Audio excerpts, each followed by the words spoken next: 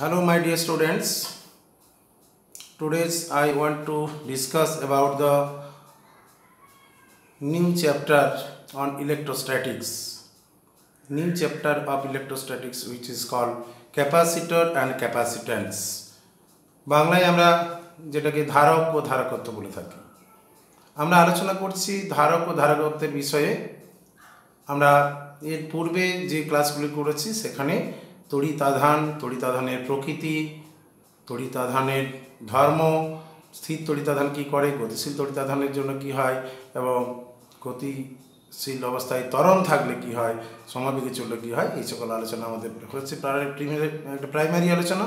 তারপরে আমরা সেটা ধীরে ধীরে পড়াটা এগিয়ে, কুলম্বের সূত্র তড়িৎ ক্ষেত্র তড়িৎ প্রাবল্য, তড়িৎ বিভব, গাউসের উপপাদ্য, তার প্রয়োগ এই সকল করতে করতে আমরা পৌঁছে গেছি আমাদের এক নতুন চ্যাপ্টারের জায়গায়, যেটি হলো ধারক ও ধারকত্ব।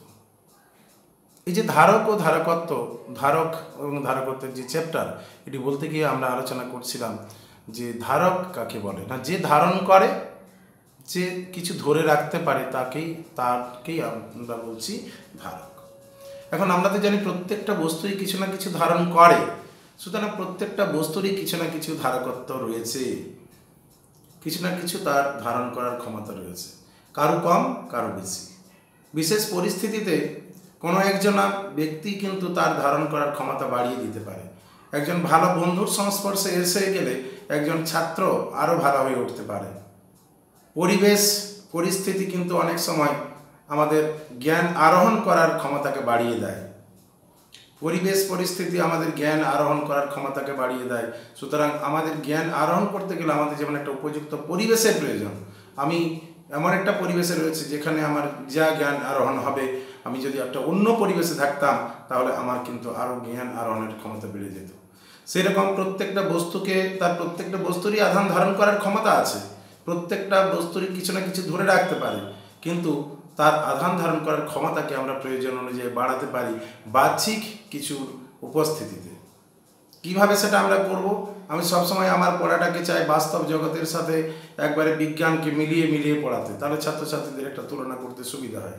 একটু আগে আমি বলছিলাম যে আমরা যদি জলের ট্যাঙ্কে জল ঢালি, তাহলে দেখা যায় যে জলের উচ্চতা ধীরে ধীরে বাড়ে এবং এক সময় জলের ট্যাঙ্ক ফুলফিল হয়ে গেলে তখন যেমন জল উপচে পড়ে ঠিক একই রকম, কোনো একটি বস্তুতে যদি আমরা আধান দিতে থাকি চার্জ দিতে থাকি, তাহলে সেই বস্তুটার পোটেন্সিয়াল বা বিভব ধীরে ধীরে বাড়তে থাকে।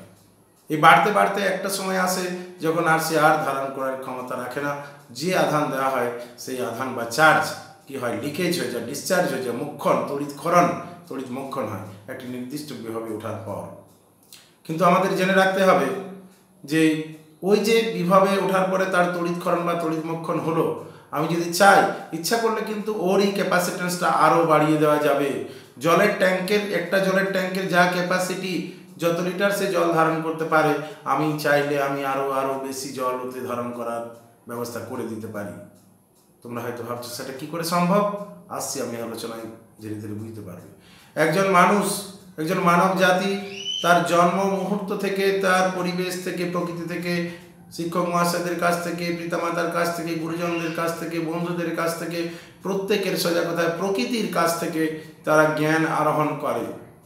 এই জ্ঞান আরোহণ করতে করতে সে একদিন ধীরে ধীরে বড় হয় এবং বড় হয়ে তার যে জ্ঞানের পরিসীমা, জ্ঞানের পরিধি বাড়ে, তার নিজের গ্র্যাভিটি বাড়ে, নিজের নিজের যে আনরিচ করে নিজেকে, আমরা যদি এটাকে বিভবের সাথে তুলনা করি, তার নিজের পোটেন্সিয়াল বাড়ে নিজের বিভব বাড়ে এবং বাড়তে বাড়তে বাড়তে বাড়তে সে একবারে মৃত্যু পর্যন্ত জ্ঞান আরোহণ করে যায়। সুতরাং তার কোনো আমৃত্যু যেহেতু সে জ্ঞান আরোহণ করে, আমৃত্যু যেহেতু সে নলেজ গেদার করে, তাই তার কিন্তু কোনো জ্ঞান আরোহণের কোনো সীমা পরিসীমা নেই। অর্থাৎ মানবের মানুষের যে ধারণ করার ক্ষমতা, জ্ঞান আরোহণ করার ক্ষমতা, তার কোনো নির্দিষ্ট সীমা নেই। অসীম জ্ঞান ধারণ করার ক্ষমতা রাখে মানুষ। যদিও অসীম মনে কিছু হয় না, সুতরাং আমরা বলতে পারি তার ম্যাক্সিমাম যতদিন সে বাঁচবে, ততদিন পর্যন্ত সে জ্ঞান আরোহণ করবে। যেদিন তার জ্ঞান আরোহণ করা বন্ধ হয়ে যাবে, সেদিনই জানা যাবে যে মানুষের মৃত্যু ঘটেছে। অর্থাৎ মৃত্যুর আগে মুহূর্ত পর্যন্ত কত যে সে জ্ঞান আরোহণ করবে, তার কোনো নির্দিষ্ট কোনো সীমা রেখা নেই। তার একটা ম্যাক্সিমাম লিমিট আমরা বেঁধে দিতে পারি না। চলো, আমরা এখন আলোচনাটাই ফিরেছি। যে প্রত্যেকটা বস্তুতে যখন আমরা আধান দিচ্ছি চার্জ দিচ্ছি, এই চার্জ দেওয়ার ফলে কি হচ্ছে? না বস্তুটার বিভব ধীরে ধীরে ধীরে ধীরে বাড়ছে। সেরকম জলের ট্যাঙ্কের যেমন উচ্চতা বাড়ছে এখানে বিভব বাড়ছে। মানুষের জ্ঞানের আরোহণ যেমন বাড়ছে, একটা জায়গায় পৌঁছানোর পরে ওয়াটার যেমন ওভারফ্লো হয়ে যায় ট্যাঙ্কে পাম্প চালালে। আরও যেমন দাহিত বস্তুতে আধান ধারণ করার ক্ষমতাটা একটা নির্দিষ্ট যদি থাকার পরে, নির্দিষ্ট পরিবেশে তার থেকে বেশি উঠতে পারে না, সে কি করে না লিকেজ করে তার মানে তার একটা নির্দিষ্ট আধান ধারণ করার ক্ষমতা আছে, নির্দিষ্ট পরিমাণ জল ধারণ করার ক্ষমতা আছে, এটাকে আমরা বলি capacity of the water tank capacity of the capacitor কিন্তু জেনে রাখতে হবে, মানুষ জাতির আধান করার ক্ষমতা বলছি, আমাদের কোনো সীমা নেই। সুতরাং এরপরে আমরা যেটা আসব, যে আধান ধারণ করার ক্ষমতা কি করে বাড়ানো যাবে? আধান ধারণ করার ক্ষমতা কোন কোন বিষয়ের উপর নির্ভর করে এবং কীভাবে নির্ভর করে? কীভাবে আমরা আধান ধারণ করার ক্ষমতা বাড়িয়ে দিতে পারি? এটা আমার পরের আলোচনার মূল বিষয়। তাহলে আমরা বুঝে নিয়েছি যে আধান দিলে বিভব বাড়ে। তাহলে আধানের সাথে বিভবের যে সম্পর্ক সমানুপাতিক, কিউ আধান দেওয়ার পরে যদি কারও বিভব ভি হয় কিউ প্রফেশনাল টু ভি হবে, তাই না? আমার যদি কিউ আধান দেওয়ার পরে বিভবটা ভি হয়, তাহলে কিউ প্রফেশনাল টু ভি হবে। কি? কিউ প্রফেশনাল টু ভি হবে। দেখো তোমরা। কিউ আধান দেওয়ার পরে যে বিভব, আমি দেখাচ্ছি, অন্য একটা কালি নিয়ে দেখি যদি দেখানো যায়। জানি না, সাদা হয়ে যেতেও পারে, স্ক্রিনটা এত জন্য নাও আসতে পারে। কিউ আধান দেওয়ার পরে বিভবটা যদি ভি হয়, তাহলে কিউ সমানুপাতিক V Q proportional to V Q professional to V দেখা যাচ্ছে কি যাচ্ছে না, আমি বুঝতে পারছি না, মনে দেখা যাবে না। যাই আমি অন্যভাবে বলি, এখন আপাতত অডিওটা করে নিই, পরে আমি যেটা বোর্ডের কাজ, সেটা পরে যাব। তাহলে কোনো একটা বস্তুতে যখন আধান দিচ্ছি, তখন তোমরা দেখতে পাবে আমার কাছে যে কি করছি, কিন্তু আমি যে ভিডিওটা রেকর্ডিং করছি, সেটা এবার আসছে না। তবুও আমি করছি, দেখি।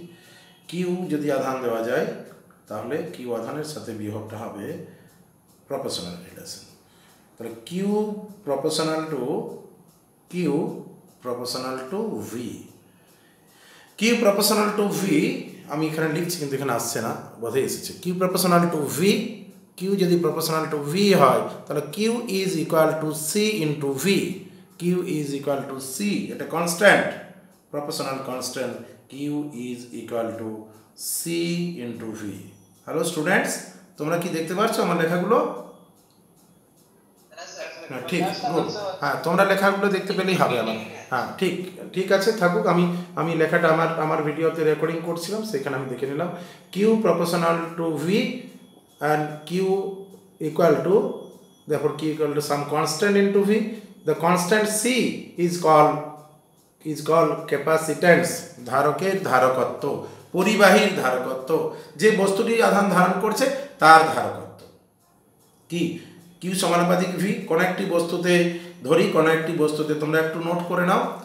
ধরি কোনো একটি বস্তুতে কি পরিমাণ আধান দেওয়ায় এর বিভব হলো V let us consider a body when it is charge by Q it's potential increases from 0 to v ধরি কোনো একটি বস্তুতে কি পরিমাণ আধান দেওয়ায় এর বিভব জিরো থেকে বৃদ্ধি পেয়ে ভি হলো। আমরা জানি যে বেশি পরিমাণ আধান দিলে বিভবও বেশি হবে অর্থাৎ আধান এবং বিভব পরস্পর সমানুপাতিক we know that we know that as charge increases potential of the body also increases as a result of which q proportional to v q proportional to v আধান বিভবের সমানুপাতিক সুতরাং আমরা যদি এটাকে সমান করতে চাই, তাহলে একটি ধ্রুবক দিয়ে আমাকে সমান করে নিতে হবে।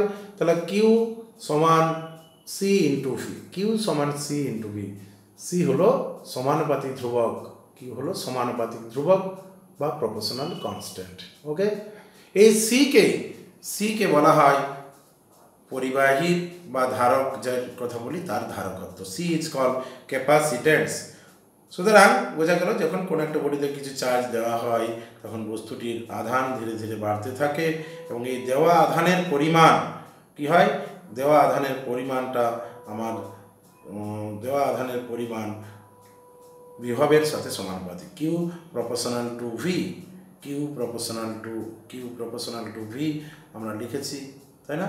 কিউ প্রপোর্শনাল টু ভি এখন এই যে আমরা পেলাম, এই সম্পর্কটাকেই আমরা যে সি পেলাম তাহলে সি করলে কত করে নাও ছাত্র বন্ধুরা? ছাত্র বন্ধু তোমরা সব করো। বলো Q Q Q professional to কি হবে ভি তাহলে কিউ সমান তোমাদের কাছে কি এলো বলো আমায়। বলো কিউ সমান কি হলো? Q equal to C into V হলো। তাহলে সি ইকুয়াল টু কত হচ্ছে বলো প্লিজ বলো। Good good C Q by V C equal to Q by V করো। সি ইকুয়াল টু কিউ আমরা আগে ইকুয়াল করে নিই, তারপরে সিটা বার করছি, তাই না? সি ইন্টু ভি করে নিলাম। C into V Q equal to C into V তাহলে Q C equal to Q by V তারপর C is equal to Q এবারে ডিফাইন ডিফাইন ইউনিটটা লিখে নাও পাশে পাশে লিখো প্রত্যেকে লিখো, নিজে নিজে বলো কত আসছে সি এর ইউনিট দেখো। তাহলে C is equal to C is equal to Q by V হলো? কিউ বাই ভি ঠিক। Q by V Q by V হলো। তাহলে দেখে নাও C is equal to Q by V এখানে আমরা C is equal to Q by V লেখাটাকে type করলাম। C is equal to Q by V Q proportional to V therefore therefore therefore, q equal to cv c is called capacitance of the system or conductor or capacitor equal to q by v এখন এতে আমরা এক কাজ করি, একটা ইউনিটটাকে লিখে নিই, unit of capacitance C coulomb per volt, তাই না? বলো students coulomb per volt is call বলো বলো student coulomb per volt is call coulomb per volt is call farad. Faraday scientist, কিন্তু ইউনিটটার নাম হলো ফ্যারাড। Good good. এটা হলো আমাদের unit coulomb per volt charge হলো কুলাম ভি হলো volt coulomb per volt is call farad there are so many units related to uh, regarding the capacitance. এখানে সি আমি যেটা কুলম পার ভোল্ট লিখেছি সিটা হলো তোমার কুলমের সি কিন্তু ক্যাপাসিটেন্সের সি কেও আমরা সি বলছি দুটো সিকে গুলিয়ে ফেলো না। কি? দুটো সিকে খেয়াল রাখবে। দরকার হলে ফুল স্পেলিংয়ে লিখবে। ঠিক? কি বোঝা গেল? কুলম পার ভোল্ট এখানে আমরা এরপর ওটাকে ডিফাইন করব যে কীভাবে আমাদের এই ইয়েটা আসছে। আমাদের ইউন তোমার ইউনিটকে ডিফাইন করব। ওয়ান ফ্যারাড কাকে বলা হবে?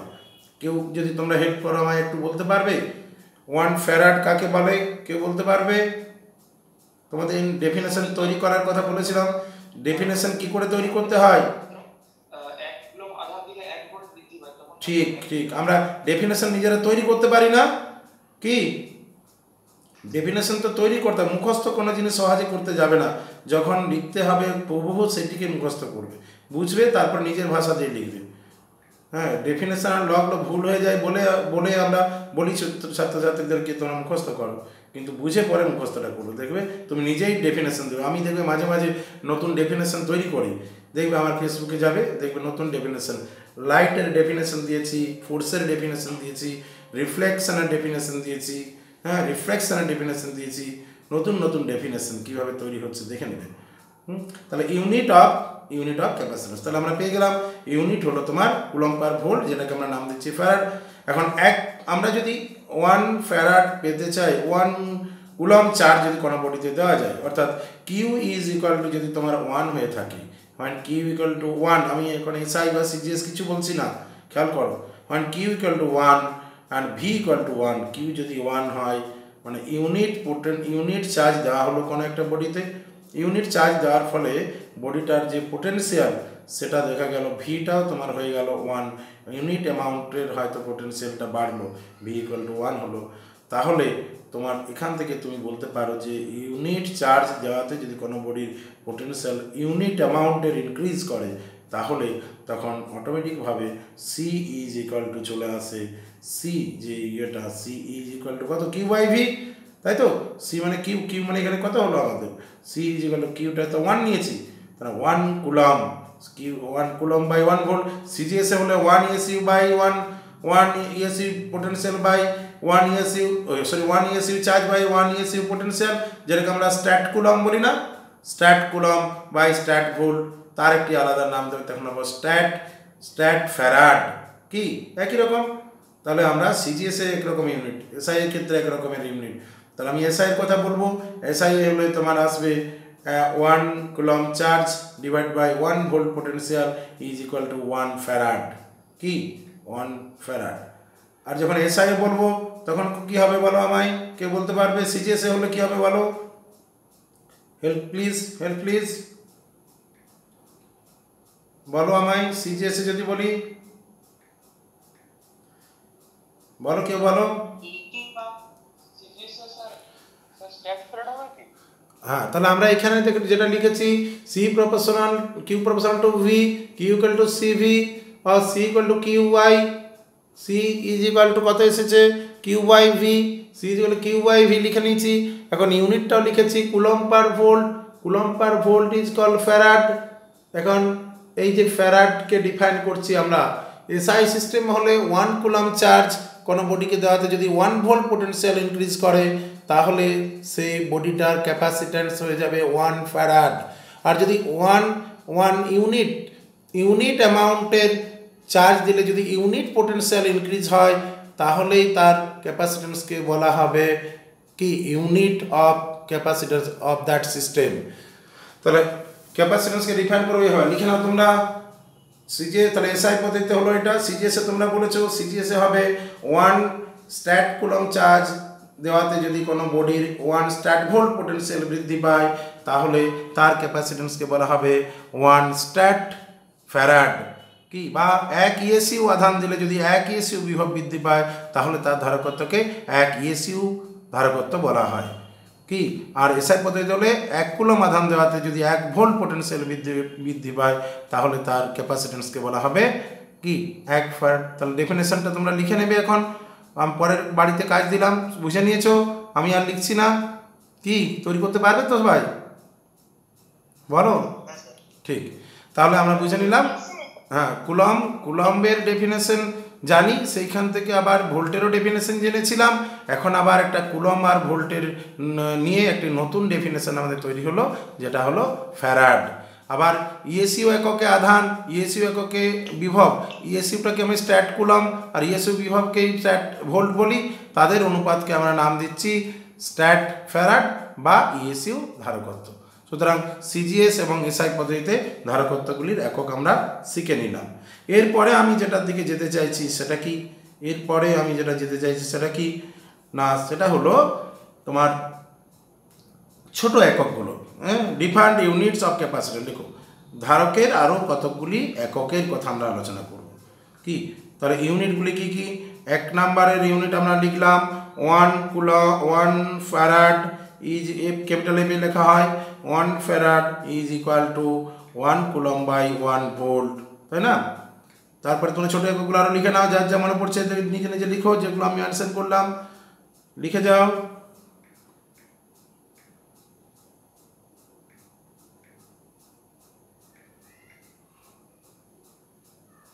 ওয়ান ফ্যারাড সমান one coulomb by one volt এটা এসআই ইউনিট অফ ক্যাপাসিটেন্স এটা হলো এসআই ইউনিটের ক্ষেত্রে। SI unit. International system the unit. International system the ইউনিটকে বলা হয় এসআই ইউনিট। হুম? এসআই কিছুটা এমকেএস এর মতোই, কিন্তু এমকেএস আলাদা। ওখানে তিনটা মাত্র ফান্ডামেন্টাল ইউনিট আছে। এসআই কিন্তু অনেকগুলো আছে। মোট সাতটা না আটটা রয়েছে, সেগুলো দেখে নেবে। আর ওয়ান ফেরাট সমান ওয়ান কুলম বাই এটা বললাম। আর একটা আমাদের ইউনিট আসছে, যেটা হচ্ছে ওয়ান স্ট্যাট ফেরাড বা ওয়ান এসিউ বলা হয় অনেক সময়। One stat farad S T A T stat farad one stat farad is equal to one stat coulomb is equal to one stat coulomb তাই না? ওয়ান স্ট্যাট স্ট্যাট কথাটা যোগ করে দিলে সিজিএস হয়ে যায়, জানো তো? কি, জানো তোমরা? স্ট্যাট কথাটা যোগ করলে সিজিএস হয়ে যায়? হুম, ওখানে স্ট্যাট কথাটা এসেছে। স্ট্যাট মানে জানবে সিজিএস এর কথা।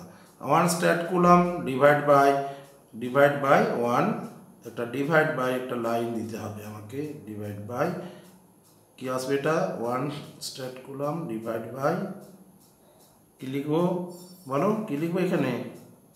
নিশ্চয় কি আসবে বলো ওয়ান স্ট্যাট ভোল্ট গুড ঠিক একদম ঠিক। ওয়ান স্টার একবারই পড়া আমাদের তৈরি হয়ে যাবে। আর রিভিশন কিচ্ছু দিতে হবে না। Stat volt stat volt stat volt ঠিক আছে? আমি ভুল লিখতে পারি তোমার দেখে নেবে একটু। ভুল হলে নিশ্চয়ই বলবে মাস্টার মাস্টারদেরও ভুল হয়। হুম? তাহলে কি হলো? ওয়ান স্ট্যাট ফ্যারাড সমান one stat coulomb divide by one one কি হলো one stat coulomb divide by one stat volt good আমি এখানে এই লাইনটাকে একটুকু আউট করতে চাইছি, কিন্তু লাইনটাকে টাচ করতে গিয়ে দেখা যাচ্ছে পুরোটাই পুরোটাই আমার আউট হয়ে যাচ্ছে। একটু লাইনটাকে নিচে লাগলে যাই একটু দেখতে কেমন লাগছে আর কিছু না। ঠিক আছে, তাহলে আমরা এটাকে সিজিএসএ এবং এসআই এর ক্ষেত্রে লিখে নিলাম। ইউনিটগুলো ছোটো এককগুলো তোমরা কেউ লিখেছো? লিখো তো, বোর্ডের পাশে কেউ লিখো। ছোটো ছোটো এককগুলো লিখো স্মল ইউনিট অফ ক্যাপাসিটেন্সগুলো কেউ লিখো, একটা করে লিখো, নিজেরা একটা একটা করে লিখো, দেখি দেখি।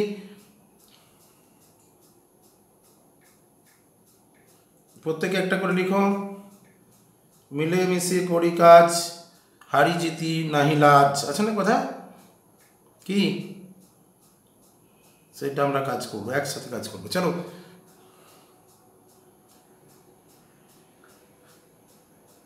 দেখো আমাদের এখানে যে জায়গা অবধি আমরা পৌঁছে গেছি, ধারক ধারকত্বের যে জায়গাটা পড়াচ্ছিলাম, ইউনিটগুলো লিখলাম কিউ সমানুপাতিক সি কিউ সমান সিভি সি সমান কিউ বাই ভি এক কুলম চার্জ যদি এক দেওয়ার এক ভোল্ট ব্যাপারে বেড়ে যায়, তাহলে সেই সিস্টেমটার ক্যাপাসিটেন্স ওয়ান ফ্যারাড বলব। এক ইসি চার্জ দিলে যদি বা stat stat farad stat coulomb charge দিলে যদি এক স্ট্যাট ভোল্ট পোটেনশিয়াল বৃদ্ধি পায় বা এক ইসি অধাম দিলে যদি এক ইএসি বিভব বৃদ্ধি পায় তাহলে তার ধারকত্বকে আমরা বলব, এক স্ট্যাট ফ্যারাড বা এক ইএসইউ ধারকত্ব এটা সিজিএস এর এসআই সিজিএস এর সাথে এসআই এর কোনো রিলেশন যদি জানা থাকে, কেউ বলো। তোমরা কেউ বোর্ডে লিখতে পারছ না? লিখো।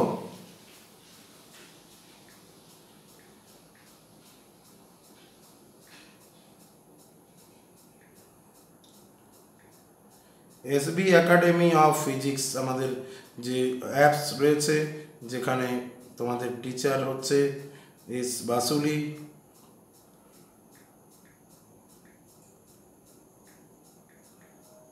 Teacher cum guide teacher না বলাই ভালো। আমি গাইড করি, শিক্ষকতার মানা করি না, আমি গাইড করি। যাদেরকে হেল্প করার, সেইটুকু করি। নিজেরাই তোমরা শিখবে, আমাদের শেখানোর মতো ক্ষমতা আমাদের নেই। অত ক্ষমতা নিয়ে আমরা আসি না।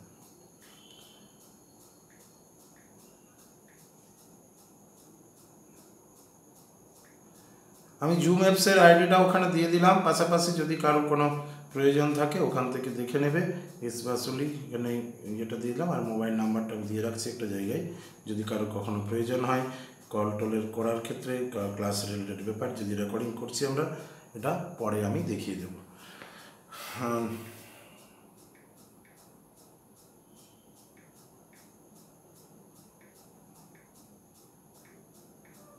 হ্যালো স্টুডেন্টস তোমাদের কোনো কোশ্চেন আছে এখানে বলো আমায়।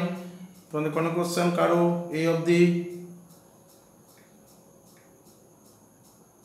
বলো please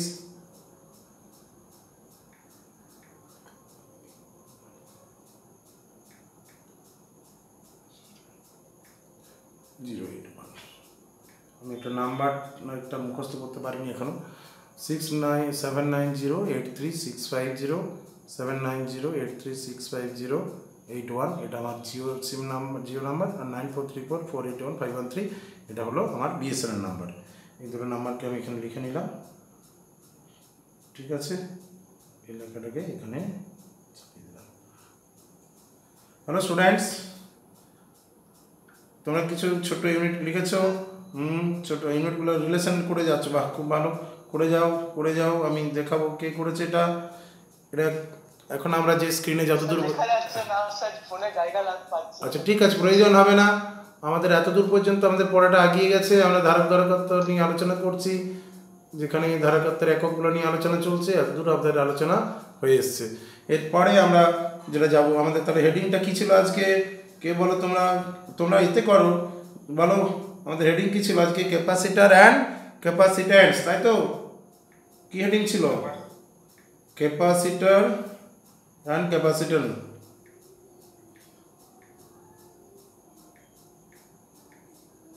capacitor capacitor and capacitance ये capacitor and capacitance and capacitance.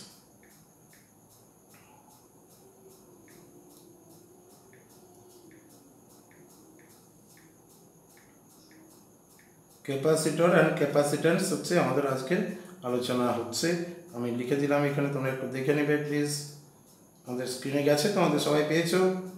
আশা করি পেয়ে- গেছো সবাই? হ্যাঁ, আমাদের হেডিংটাকে একটু রেড দিয়ে হাইলাইট করলাম কারণ আমাদের হেডিংটাকে আগে দরকার। ক্যাপাসিটার অ্যান্ড ক্যাপাসিটারের হেডিংটাকে আমরা লিখে ফেললাম। ক্যাপাসিটার অ্যান্ড ক্যাপাসিট্যান্স তোমরা বলেছি প্রত্যেকে একটা করে মেমোরি কার্ড কিনবে, বাবা আমাকে বলবে একটু কষ্ট করে এটা যদি কিনে দিতে পারে ভালো, যদি কারও অসুবিধা থাকে আমার কাছে আসবে, আমি সাহায্য করব টাকা পয়সা দিয়ে যেটুকু পারি। হুম, যদি অসুবিধা থাকে। ঠিক আছে, এটা আমাদের করে ফেললাম। আমরা ওয়ান ফেয়ার রিলেশন লিখেছে, কেউ nine into eleven stat fair খুব সুন্দর লিখেছে।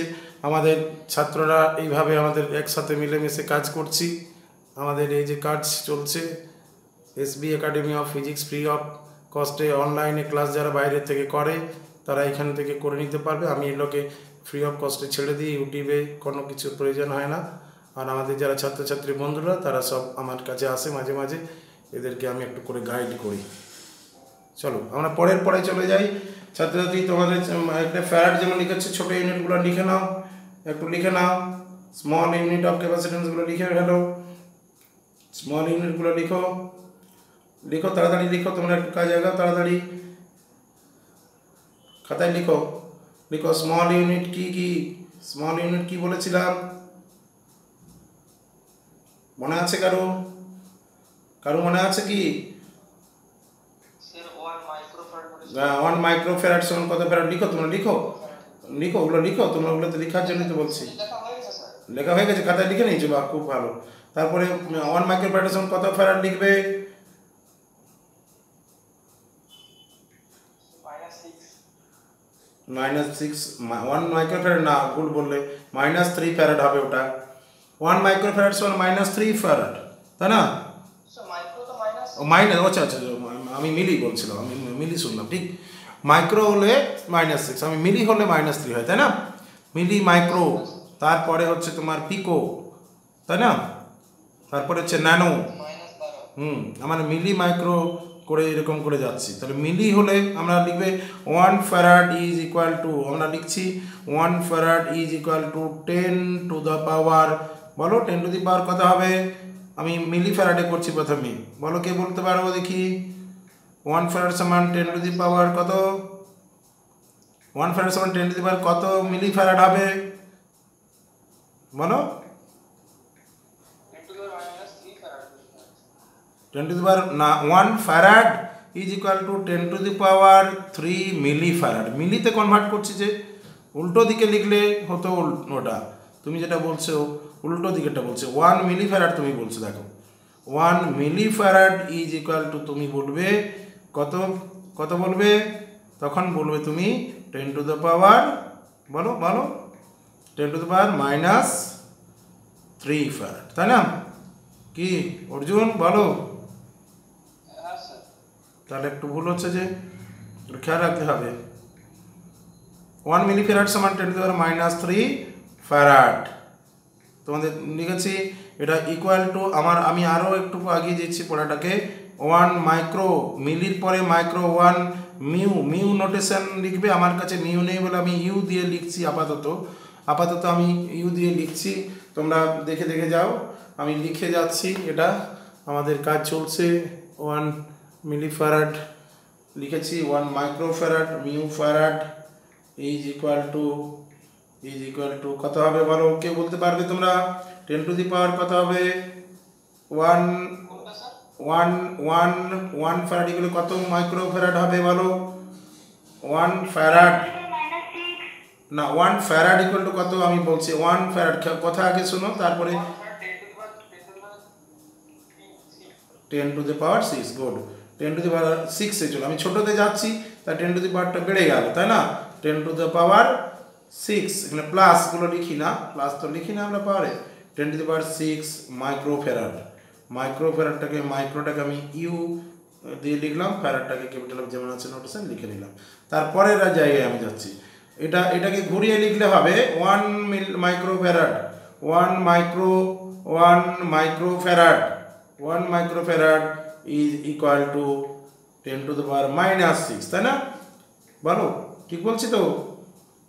Ten to the power minus six farad ten to the minus six farad তারপরে আবার যাব, পিকোতে যাব, আমরা এত দূর লিখে ফেলেছি, এই সকলগুলো লিখছি, রিলেশনগুলো লিখে লিখে যাচ্ছি, আমাদের যে রিলেশন চলছে কত দূর রিলেশন হয়ে গেছে দেখে নিতে পারি আমরা।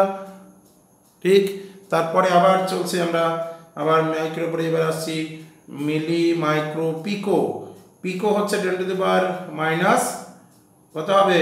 কত মানে হচ্ছে? Milli micro milli micro pico nano তারপর ন্যানোটা আগে আসবে আগে ন্যানো ন্যানোটা আগে লিখো। ন্যানোটা মাইনাস নাইন তাই তো? জানো তো? ওয়ান ফেরাট আমি বড়টা আগে করছি। হ্যাঁ হুম আগে আগে আগে করে নিই। তোমার আমরা করব ওয়ান ফ্যারাড ইকুয়াল টু কত? One farad is equal to milli micro তারপরে পিকো হয়। অর্ডারগুলো মুখস্থ করে নেবে। টেন টু দি পাওয়ারের আমাদের এখানে নাইন হয়। কি? সরি সিক্স আমরা পিকোর কথা বলছি সিক্স সরি না সিক্স তো হলো মিলি মাইক্রো মিলি হলো মাইক্রো হলো। এবারে ন্যানোতে আসছে নাকি? এই মিলি মাইক্রো ন্যানোতে আসছে। প্রথমে ন্যানোতে আসছে। তারপরে পিকো মাইক্রো মাইক্রো ফ্যারাট মানে পিকো ফ্যারাট মাইক্রো মাইক্রো করবে যখন। তাহলে মিলি মাইক্রো টেন টু দিবার আমি এখানটাকে একটু কারেকশান করে নিই। কোনো কথা মনে হচ্ছে কিছু একটা ভুল বলেছিলাম, আমাকে আগে কারেকশানটা করে নিতে হবে। হ্যালো হ্যালো ফ্রেন্ডস হ্যালো আমার লেখাগুলো কোথায় গেল রে বাবা? লেখাগুলো এতটা কেন চলে গেল? এত দূর তো যাওয়ার কথা ছিল না। হ্যাঁ ঠিক। হ্যাঁ আমি আমি যে কথাটাই কিছু যদি ভুল বলে থাকি, আমি আবার কারেকশন করে নিচ্ছি। যদি কোথাও ভুল হয়ে থাকে, একটু দেখে নেবে। আমরা যে জায়গাটা লিখেছি, একটু দেখে নাও আগে। এই জায়গাগুলো আগে দেখে নাও। এগুলো তোমার লেখার মধ্যে কিছু ভুল থাকছে কিনা একটু বলবে আমায়। তারপরে ন্যানোপিকোটা আমি আবার আসছি। যদি কোনো ভুল বলেছিলাম কারেকশন করতে হবে, কারণ রেকর্ডিংয়ে ভুল থেকে গেলে খুব মুশকিল আছে। দেখে নাও। দেখে নাও লেখাগুলোকে দেখে নাও। না এখন মধ্যে ঠিক আছে। এরপরের ইউনিটটা আমাদের কি আসবে? বলো অর্জুন বলো বলো অর্জুন কিটা আমাদের এরপরে আসে? অর্ডার অর্ডার অনুযায়ী লিখছি। মাইনাস থ্রি মাইনাস সিক্স তাহলে এবারে সিক্সের one four ten to power নাইনে চলে যায় কি? তাই তো? Ten to power nine hmm এবারে আসছে ন্যানো ঠিক।